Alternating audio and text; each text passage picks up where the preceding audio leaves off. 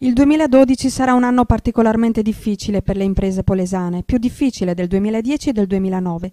Le aziende che negli anni scorsi hanno resistito si trovano a fare i conti con una crisi finanziaria che non ha precedenti, in cui banche e istituti di credito, anche loro sopraffatti dalla crisi dell'economia virtuale, hanno stabilito dei rating che non tengono conto della storia e dimensioni dell'azienda, per cui è difficile accedere al credito e perciò fare impresa.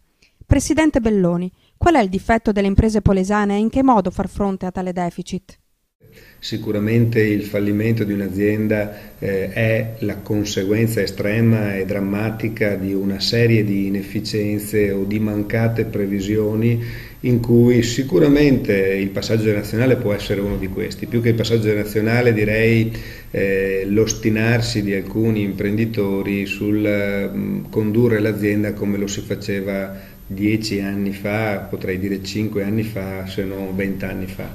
Eh, I mercati sono cambiati, gli scenari sono cambiati, i costi sono cambiati, pertanto se non c'è una innovazione di condurre, conduzione dell'azienda eh, si rischia di morire. Eh, però non vorrei generalizzare, quindi il passaggio generazionale è uno degli elementi che sottende poi a una serie di scelte che eh, sono date appunto dalla internazionalizzazione, dalla forma societaria, dai piani finanziari, eh, da nuove modalità di conduzione dell'azienda che sono necessarie, ripeto, per essere competitivi.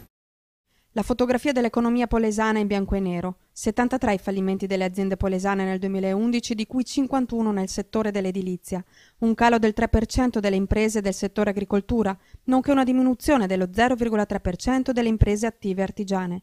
Ma non mancano i segnali positivi come la crescita delle società di capitale, il saldo demografico positivo, anche se non di molto, e il tasso di sviluppo reso noto da Unioncamere per le imprese del Polesine, pari allo 0,37%. È possibile che non si mettano delle corsie preferenziali per chi vuole investire in Polesine o per chi vuole aprire una nuova attività. Purtroppo ad oggi si parla tanto di sburocratizzazione, ma di fatto siamo una provincia estremamente burocratizzata utilizzata, siamo vecchi, siamo lenti e, eh, ripeto, eh, troviamo troppe e disperdiamo troppe energie nel litigare rispetto a come, rispetto che a fare semplificazione. Presidente, una soluzione per uscire dal guado c'è?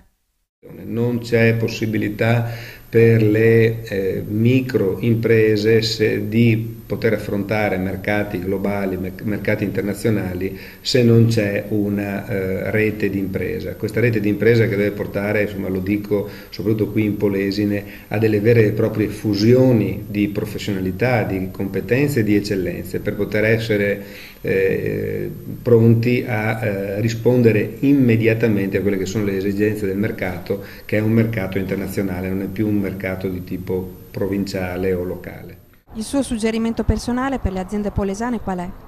Uno alle giovani aziende e ai giovani imprenditori è quello di crederci, è quello che nei momenti di maggior crisi nascono le eh, più belle idee, la, la, la, forza di resistere e la forza della passione imprenditoriale trova sicuramente eh, quella chiave che ci permetterà di superare questa crisi e eh, di eh, trovare nuove energie per eh, creare una forte marginalità e ricchezza al nostro territorio grazie a chi resiste in questo momento.